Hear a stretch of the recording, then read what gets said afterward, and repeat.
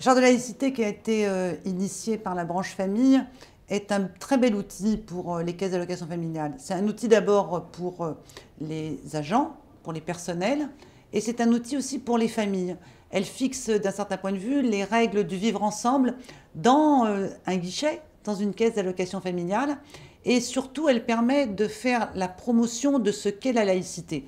La laïcité, c'est notre socle commun est fondamental, celui qui garantit tout à la fois la liberté de conscience, la liberté d'opinion, la liberté d'expression.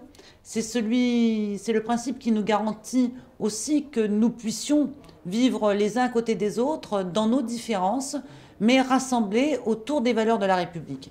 Et puis la laïcité, c'est aussi euh, ce principe qui euh, permet l'émancipation et la promotion des individus.